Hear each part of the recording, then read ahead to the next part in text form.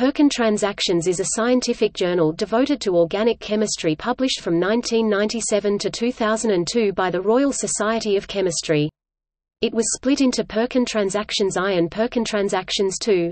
The predecessor journals published by the Chemical Society before the merger of that society with other societies to form the Royal Society of Chemistry were the Journal of the Chemical Society, Perkin Transactions 1 and Journal of the Chemical Society, Perkin Transactions 2 1972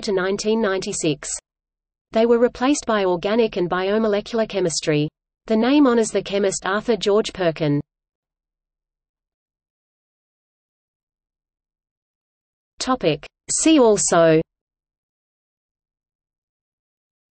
List of scientific journals in chemistry List of scientific journals.